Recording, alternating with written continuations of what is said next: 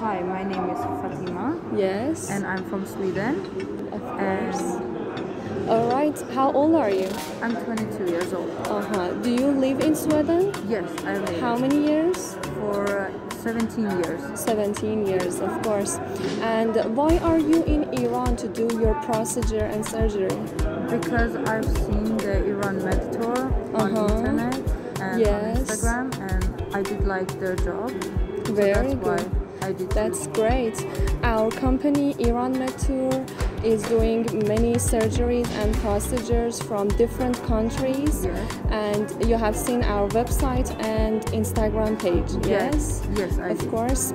How do you feel here?